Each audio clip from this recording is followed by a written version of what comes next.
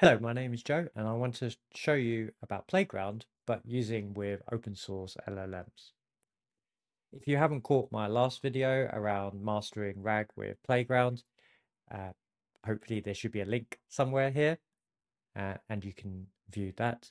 But this is focused directly on how to use open source LLMs. In this example, we're going to be using uh, Meta's uh, Llama 3.2, and Instruct 3B, to do RAG. So the first thing I'm going to be doing is I'm going to be using LM Studio to run the model locally on my machine. And the second thing that I've done is that I've already created a link uh, forwarding network proxy between my local machine to the cloud instance that I'm going to be demoing on. So in my last video, you probably seen that demoing Playground uh, with a workplace dataset. But now I'm going to just show you how to set it up in the model to use my local LLM. So the first step that we do is that let's go to manage and then let's create a new connector. We're going to choose OpenAI and name this LM Studio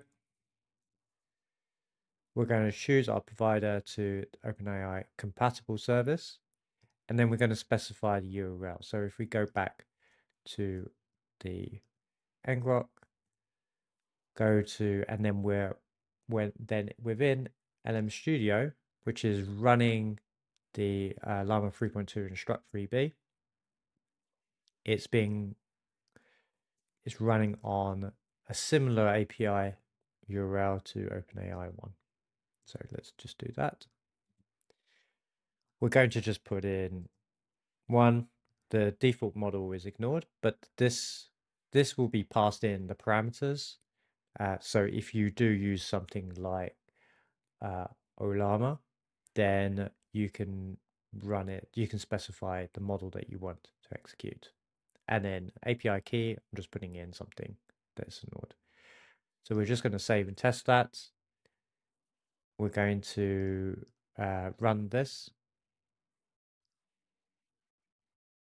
Okay, and then we've got the results. And then you will be able to see this within the call, within the server logs. And also for me, I'm able to see it within the uh, ngrok.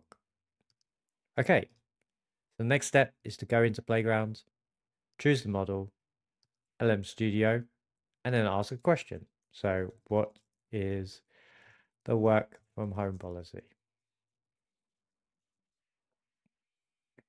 And then behind the scenes, that will be using the my local LLM that's running on my machine right now and answer the question. It's performed so just as as before, it's retrieved uh, documents, it's put that in within the context, and it's provided this summary.